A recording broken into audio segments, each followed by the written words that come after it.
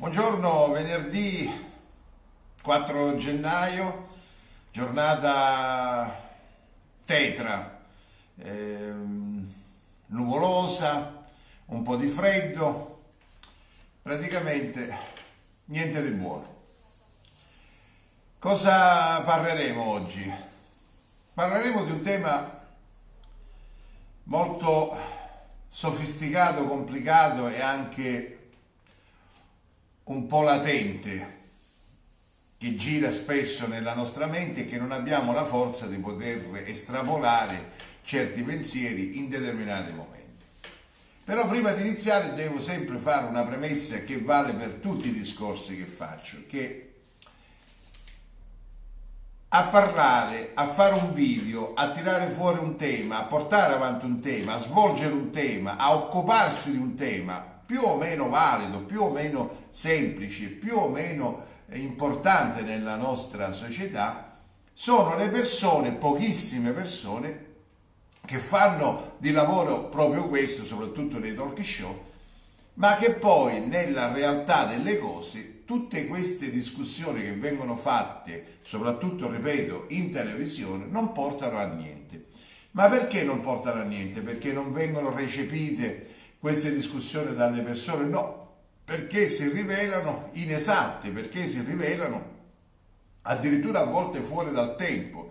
Cioè una persona svolge un tema ma poi questo tema non ha nessuna attinenza alla realtà e quindi è un qualcosa che scivola via, come l'acqua quando scivola sui vetri, se ne va giù e, e alla fine il vetro si asciuga anche se resta un pochino sporco, tutto qua. Questa è la realtà. E allora la, la morale qual è di queste cose? Che chi ha un pizzico di intelligenza è un, un qualcosa no di raggiunto, non è qualcosa che tu vai a prendere, a conquistarti, a imparare, a, a studiare, no, l'intelligenza è una virtù innanzitutto e soprattutto una ricchezza che come i soldi chi ce l'ha se li tiene i soldi e la ricchezza chi ce l'ha se la tiene, tutto qua. Avete capito? Benissimo. E allora, ora andiamo avanti dopo aver fatto questa premessa che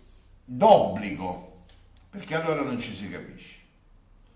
Allora questo vale per i miei amici e anche per chi ha la fortuna o la sfortuna di ascoltare queste fuori dalla cerchia. Di cosa voglio parlarvi? Di un fatto molto importante che succede a molti di noi ed è successo anche a dei personaggi che sono entrati nella storia ehm, dell'arte, del, che può essere la poesia, la letteratura in genere, i romanzi, come li volete chiamare questi, questi fatti, eh, che molti di questi personaggi, anche eh, ricchissimi da un punto di vista materiale, hanno avuto una vita quasi normale, ma poi sotto sotto si è sviluppato dentro la propria mente un qualcosa ehm, di personale e qualcosa che restava sempre ed è rimasta per molti sempre nascosta, che non si è mai realizzata, è rimasta latente nella mente dell'individuo. Cerco di essere più chiaro e di fare un esempio pratico.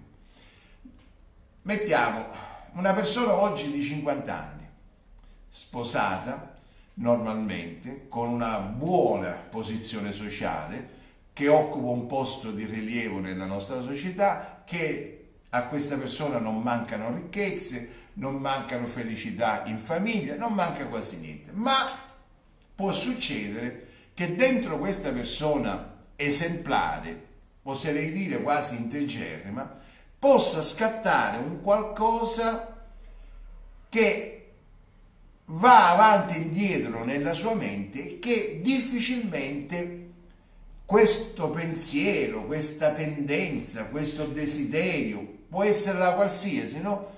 non riesce ad uscire fuori. Per vari motivi, possono essere per pigrizia, questa cosa non viene tirata fuori e non viene realizzata, eh, per pudore, eh, per principio, perché bisogna rispettare altri principi e questo principio che si creerebbe in seconda battuta non può essere realizzato. Non so se avete capito, ma comunque facciamo finta di sì.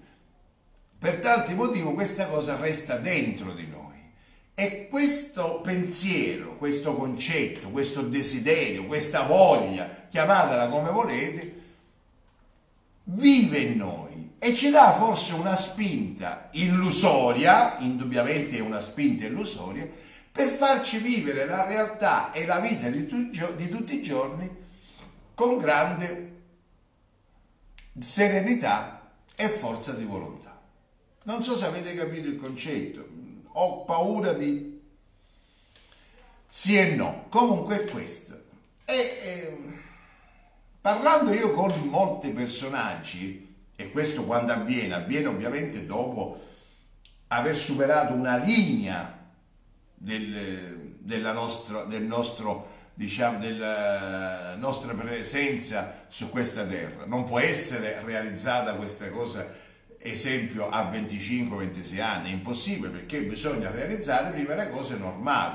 Allora tutto ciò avviene dopo in una parte più alta della nostra vita, verso 50, 60 grosso modo.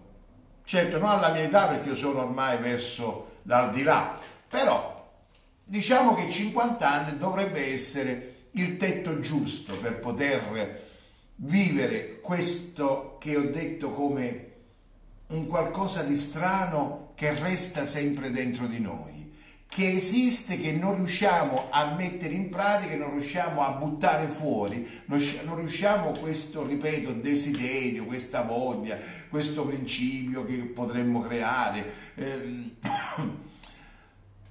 questa attrattiva può essere, una, ma non ce la facciamo perché non riesce ad uscire fuori, perché re, reputiamo giusto non farlo uscire fuori e lasciare dentro di noi quello che stiamo vivendo. Abbiamo detto anche i motivi, possono essere vari, per paura, eh, per pudore, eh, per principio, eh, nel senso di rispettare altri principi, ehm, per vergogna, per tanti motivi. Eh. e questa cosa che noi viviamo, ripeto, che non è sempre la stessa, può essere di varia natura, eh, Esempio, ne prendiamo una che può essere esempio sentimentale, sessuale. Cioè noi abbiamo 50 anni, abbiamo una bella famiglia, abbiamo una bella moglie, abbiamo avuto 3-4 figli, eh, una bella posizione sociale, nonché economica, perciò in un determinato momento dentro di noi nasce un'attrazione per un'altra donna. Potrebbe essere anche oggi per un uomo e uno non ha il coraggio di ammetterlo, potrebbe essere anche per un uomo. E questa attrazione, questa voglia, noi la viviamo dentro di noi giorno dopo giorno in maniera indicibile, indicibile perché non siamo neanche capaci di poterlo dire a noi stessi, perché a volte può essere qualcosa di proibitivo. Cioè se uno, un tizio normale, ripeto, con una famiglia normale, con una posizione sociale di un certo livello e con una ricchezza non indifferente, di colpo si va a innamorare del marito di un'amica, cioè di un altro uomo, cioè ammettere un'omosessualità in età avanzata, dopo che uno ha fatto un cammino quasi netto, perfetto, come fanno i cavalli quando saltano gli ostacoli. Ha fatto un percorso netto della sua vita, perfetto, netto e perfetto e poi di colpo si accorge che c'è una tendenza dentro di sé, un desiderio, una voglia, un qualcosa che non ha il coraggio di ammettere, ripeto, neanche a se stesso. E queste cose succedono, queste cose succedono. Noi prendiamo Dante, Dante ha ammesso, non so in quale periodo, mm, di amare eh, un'altra donna che era Beatrice, eppure lui aveva quella Donati che era una brava moglie, eh, donna che eh, gli ha dato tre figli e poi un altro l'ha, avuto eh, in maniera allargata con un'altra donna, ha avuto 4-5 figli, se ne parla di 5 tante, 4 sicuro, 3 con la moglie, uno fuori e un altro dubbio. Perciò un bel momento ha avuto questa tendenza, questa attrattiva que eh, per questa donna, questa attrazione quasi fatale che ha talmente idealizzato e non si sa molti mh, mm, pensatori contemporanei al nostro Durante, perché si chiamava Durante, poi chiamato eh, col diminutivo di Dante, eh, non sanno se effettivamente ci sia stato mai mh, mm, questa donna, anche se poi si è ammesso che questa donna sia esistita, si sono fatti dei nomi, ma non si sa se Dante ha avuto mai la forza e il coraggio di parlarle e di toccarla o di sfiorarla. O tutto è rimasto nella sua mente. E stiamo parlando di un grande, che era un sommo poeta, uno che ha dato la spinta a un cambiamento veramente radicale della nostra penisola. Con la nascita possiamo dire eh, come pioniere della lingua italiana. Attenzione, non è che stiamo parlando di uno qualunque, eppure questo personaggio è stato colpito. Ma quanti personaggi? Ripeto, persone normalissime, persone che hanno avuto un percorso di vita netto e corretto, come certi cavalli quando saltano gli ostacoli, che fanno il percorso netto. Però poi un bel momento nella loro vita, esempio verso i 50-55 anni, incomincia a svilupparsi nella propria mente qualcosa di strano. Qualcosa di strano che è strano anche per il soggetto che la vive questa, questa esperienza tutta mentale, a volte tutta spirituale, ma che poi non può esporre a nessuno, forse neanche a se stesso, perché se ne vergogna. Mettiamo la vergogna in questo momento, perché se ne vergogna, esempio, perché magari può essere l'attrazione verso un bel ragazzo oppure il marito di un'amica, cioè verso lo stesso sesso.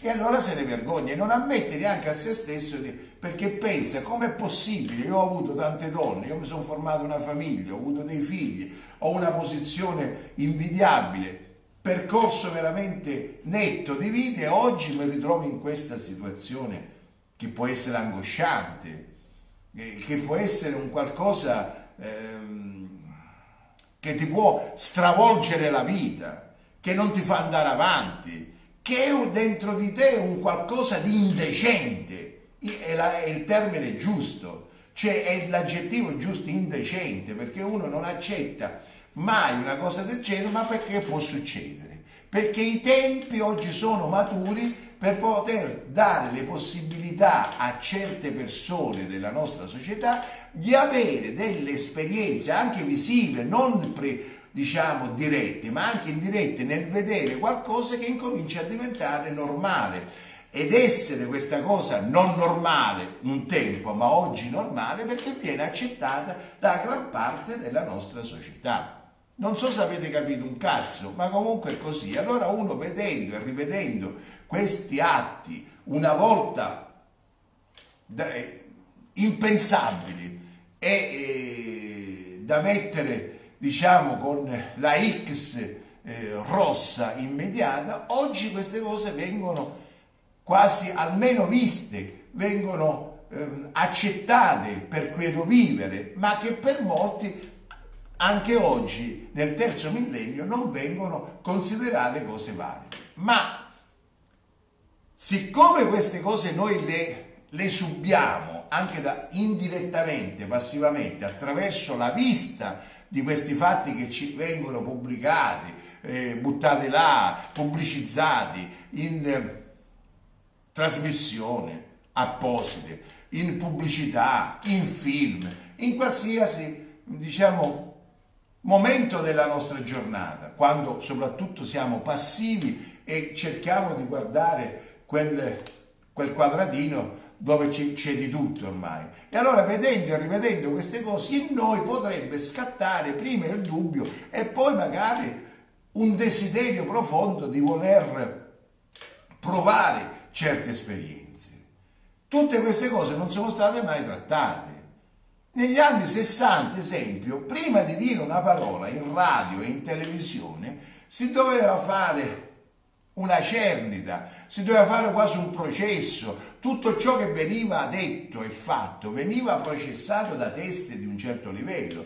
E una cosa poteva essere fatta se rispettava certi principi di quegli anni che dovevano elaborare e rispettare una certa morale sociale e anche televisiva e culturale e mh, artistica. Non so se sono stato chiaro ed erano severissimi. Oggi invece non c'è nessun processo, non si processa niente, si improvvisa, si va a Sanremo e ci si toglie quasi pure i pantaloni, fra poco pure le mutande. Ed è una cosa normale, si insulta in alcuni atteggiamenti anche eh, figure sacre della nostra spiritualità. Attenzione perché la spiritualità esiste, poi se è giusto o sbagliato è un altro punto, ma la spiritualità esiste. Non dimentichiamoci che noi siamo la nazione, oltre che della mafia, anche del Vaticano, della casa eh, reale, possiamo dire reale eh, del nostro Signore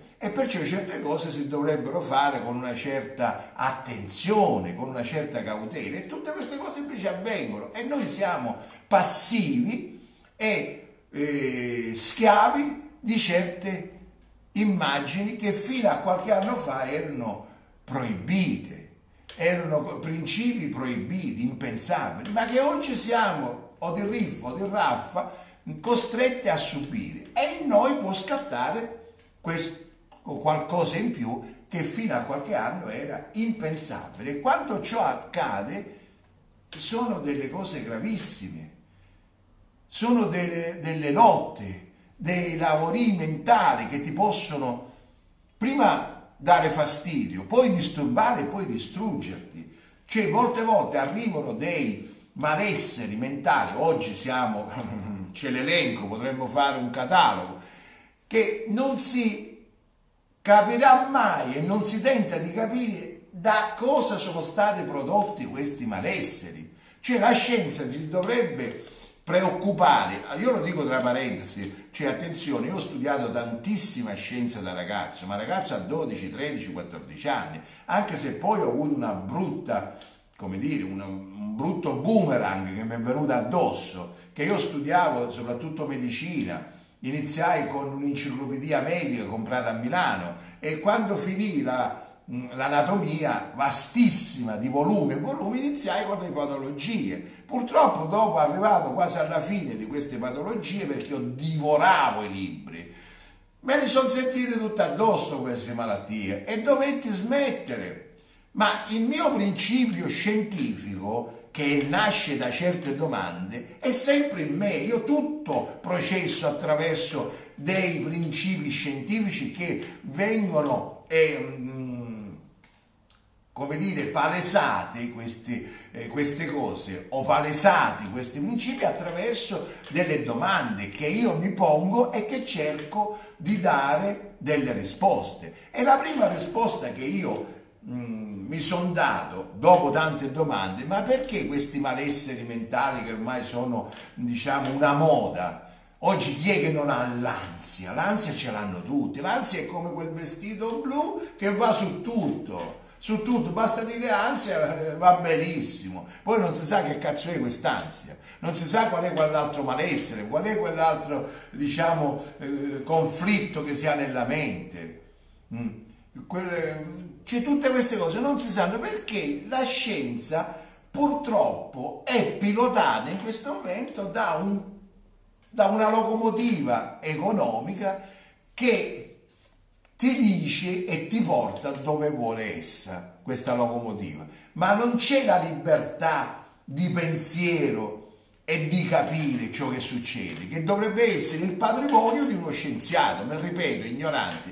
Uno scienziato dovrebbe avere un patrimonio che oltre all'intelligenza indubbiamente, perché si parla tutto di intelligenza, ma quella libertà di potersi cimentare in ambiti non scoperti ma da scoprire e dare delle risposte a dei punti interrogativi o dei punti eh, difficili del nostro malessere quotidiano che può essere, mettiamo, l'ansia, che può essere perché succede che un calciatore di colpo va in crisi totale pur avendo soldi, moglie, fidanzate, amanti, eh, alcol, droghe e tutto, però va in crisi, succede qualcosa. E allora la scienza si dovrebbe preoccupare, avendone le capacità prima e soprattutto le libertà, ma oggi le libertà non è che vengono tolte da regimi, non ci sono i regimi, tranne qualche nazione, ma non sono proprio questi pensatori, questi dittatori a togliere questa libertà,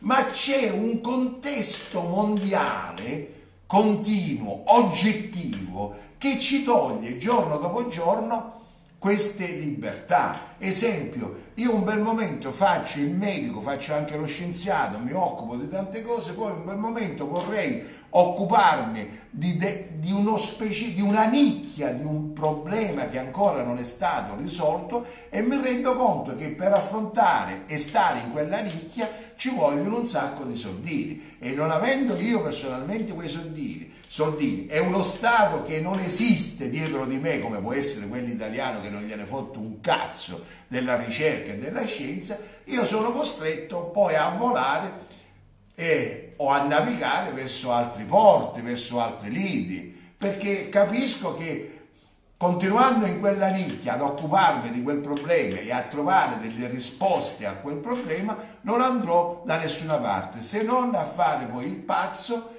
e la fame. E questo onestamente oggi nel terzo millennio si cerca con uno degli studi alle spalle di evitare. Ecco perché non c'è questa libertà, è una libertà che non si trova da una colpa oggettiva che nasce dal nostro modo di pensare e di agire mondiale. Non ci sono dei dittatori che cercano di privare la libertà di ricerca. Anzi, i dittatori sono stati sempre favorevoli affinché uno possa scoprire qualcosa attraverso appunto questi pensatori e poi accollarsi i meriti. Non è la prima volta che succede. Non è la prima volta che succede, ma non nel campo scientifico, nel campo sportivo, nel campo intellettivo e così via. Perché giustamente il dittatore poi dirà se quello è arrivato a raggiungere quegli obiettivi grazie al mio modo di pensare, alla mia dittatura. Eh, avete capito? Perciò questa non libertà di pensiero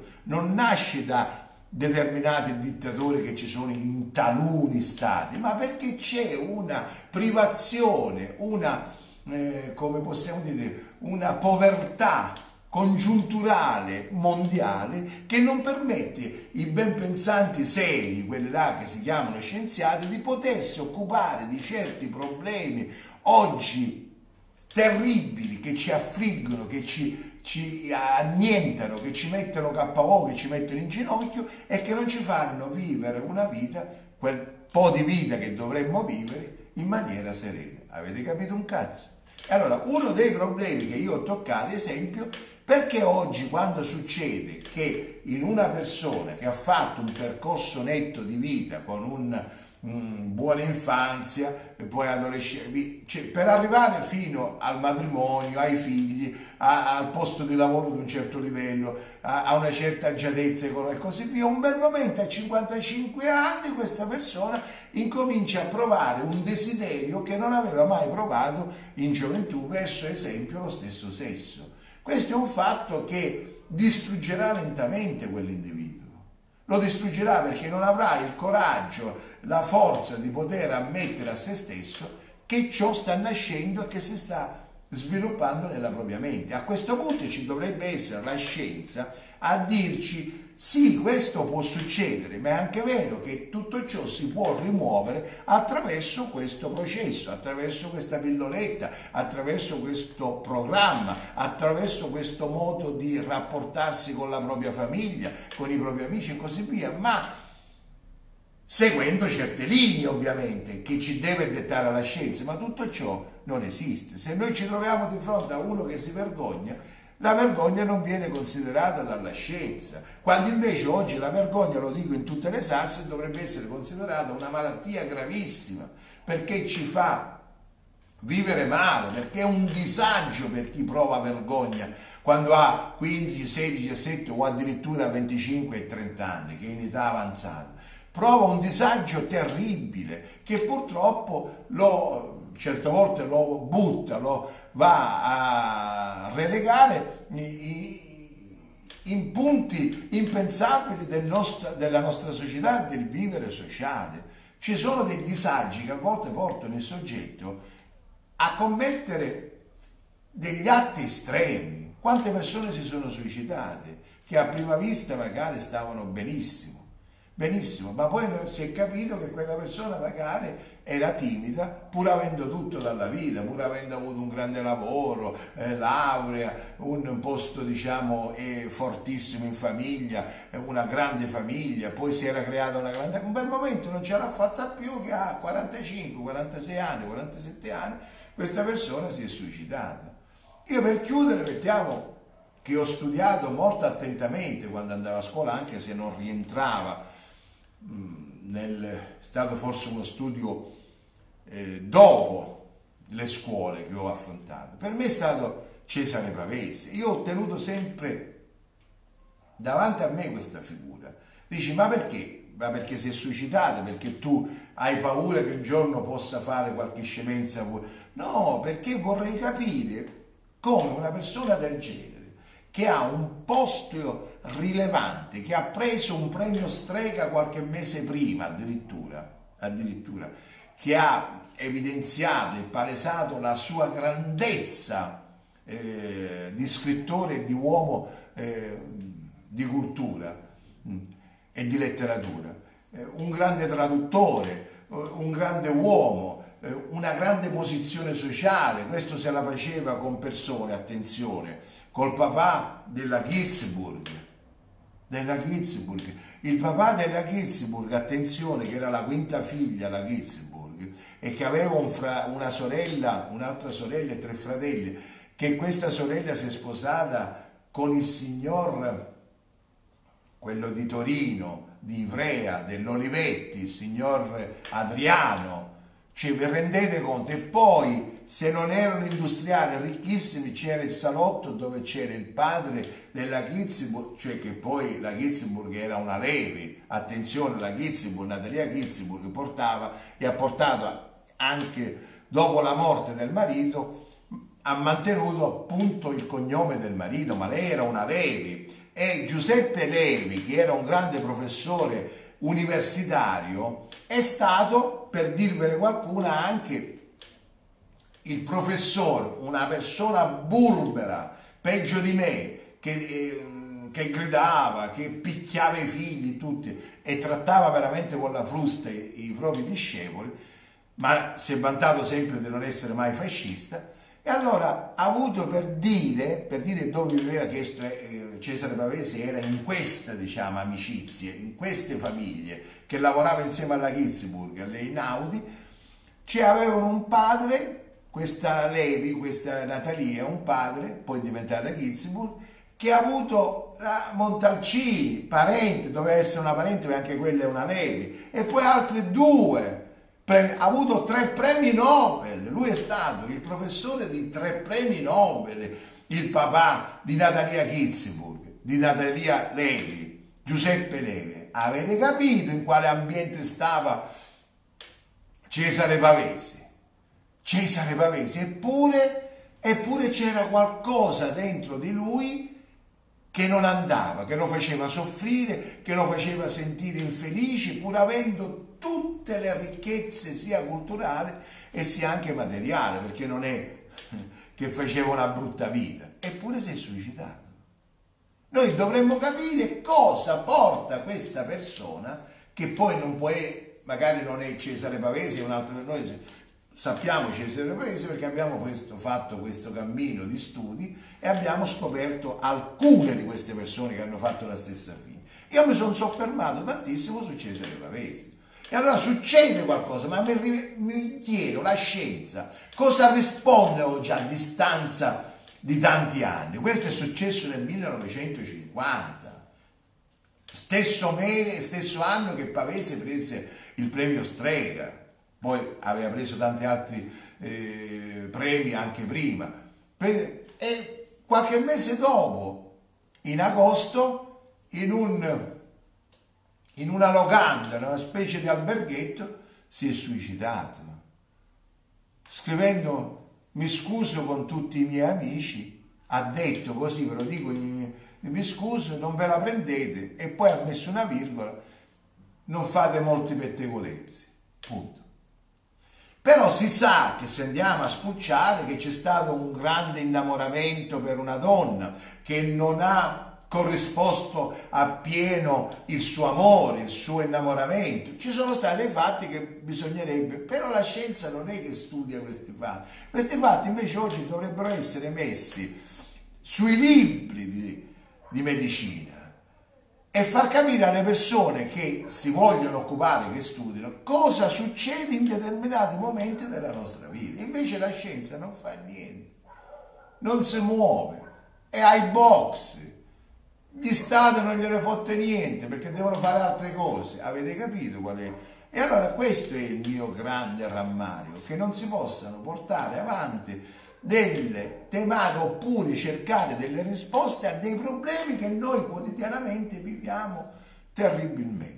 Questo. E allora, perché non si riesce? Perché a volte non mancano i cervelli Ripeto sempre che i cervelli sono quelle persone di un'intelligenza massima e l'intelligenza è come la ricchezza materiale. Chi ha i soldi se li tiene e chi ha l'intelligenza se la tiene. Non è che l'intelligenza uno la può, come i soldi, tramandare o far passare a destra e a manca a qualche familiare. No, io se ho dei miliardi posso lasciarli questi miliardi ai miei figli, a un amico, a una troietta, a una moglie, a chi voglio, ma se io sono una persona con un livello di intelligenza altissimo, io questo livello di intelligenza non lo posso né insegnare a un'altra persona né trasmetterlo, né trasmetterlo. Questo è poco ma sicuro. L'intelligenza alla fine, amici,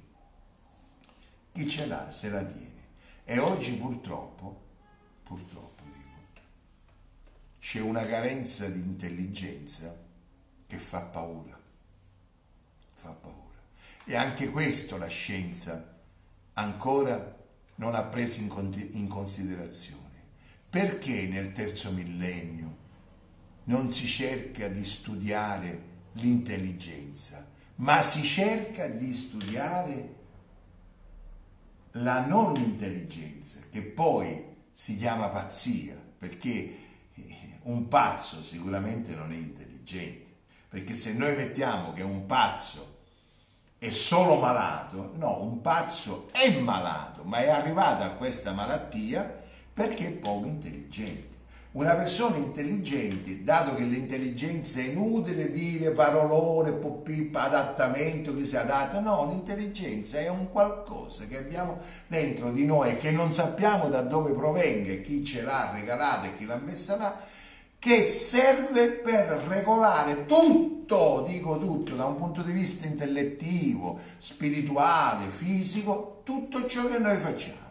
L'intelligenza sa se dobbiamo stare zitti, l'intelligenza sa se dobbiamo parlare, l'intelligenza sa se dobbiamo incazzarci, l'intelligenza sa se noi dobbiamo usare un bastone per dare quattro colpe nelle spalle o sulle spalle a qualcuno, uno l'intelligenza sa e ci dice se noi in certe circostanze dobbiamo rispettare la moglie lasciare perdere, mettiamo una fighetta là che te la fa vedere proprio senza mutande, eh? Tutte queste cose è l'intelligenza che ci guida. E ripeto, questo regolatore può essere, mettiamo come un regolatore del nostro modo di vivere, della nostra vita, chi ce l'ha se lo tiene. Questo, chi non ce l'ha purtroppo fa tante altre cose, ma queste cose che poi diventano pazzoide e pazzie, non è che solo una malattia la, la pazzia, la pazzia è una malattia ma nasce da mancanza di intelligenza,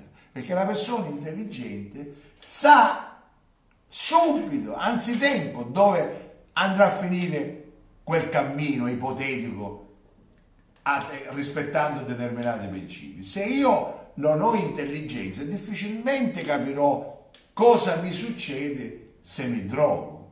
Se non sono intelligente, devo provare quel cammino per poi capire ma se sono intelligente io quel cammino lo posso anche vivere ipoteticamente nella mia mente e capire dove andrò a finire se affronterò quella strada. Mentre chi non ha l'intelligenza deve affrontare la strada e quando finirà quella, quella strada c'è la tomba pronta che lo aspetta. Ma così anche per l'alcol, così anche per certe amicizie, così per certe avventure della nostra vita sociale. È sempre l'intelligenza che ci apre ipoteticamente nella mente e ci mette davanti il cammino che potremmo affrontare. E sempre l'intelligenza ci dice se quel cammino lo possiamo affrontare o non lo possiamo affrontare. A questo punto l'intelligenza, siccome dobbiamo continuare a chiudere il tema che avevamo iniziato, quando ci, ci scatta qualcosa e noi abbiamo avuto tutto dalla vita e ci scatta qualcosa che non possiamo neanche ammettere a noi stessi o dire a noi stessi, l'intelligenza cosa ci dice? Ma l'intelligenza ci deve dire qualcosa e ce lo dice, può essere un, una risposta soggettiva, ma noi non abbiamo bisogno di risposte soggettive. Noi avremmo bisogno nel terzo millennio di risposte oggettive ed essendo appunto oggettive queste risposte devono essere scientifiche perché devono valere per un australiano, per un italiano, per uno scozzese, per un polacco, per uno che sta al polo nord, uno che sta al polo sud, per tutti. Ci vorrebbe una risposta scientifica, universale e queste risposte non ci sono. E allora quando uno si va a invaghire di una persona dopo che avrà fatto un percorso netto di vita con soldi, lavoro, moglie, figli, amicizie, tutto, tutto, e poi succede qualcosa come cosa dice la sua intelligenza? Può essere una risposta soltanto soggettiva. E una risposta soggettiva in quel caso non serve a niente, perché non aiuterà, perché non sappiamo quella risposta come sarà. Cioè l'intelligenza si deve anche appoggiare su un fatto universale e poi fare la scelta. Ma se quello che sta processando l'intelligenza è proprio personale, non ha basi all'esterno che provengono appunto dalla scienza, difficilmente che quella, quella risposta che darà quell'intelligenza soggettiva possa essere una risposta seria e universale. No, è la scienza che ci deve dare delle risposte universali, che oggi purtroppo non ci dà perché gli scienziati non esistono, la libertà di pensiero di certi personaggi non c'è, in quanto viviamo una schiavitù schiavitù che è oggettiva e mondiale che ci porta a non occuparci di certi, certe nicchie del pensiero e della, del, del, della scienza totale perché sono avventure, percorsi che costano un mucchio di soldi e nessuno di noi ha quei soldi a disposizione per affrontare quei cammini, quelle strade. E poi in aggiunta c'è anche qualche Stato come il nostro che dal punto di vista scientifico non aiuta nessuno.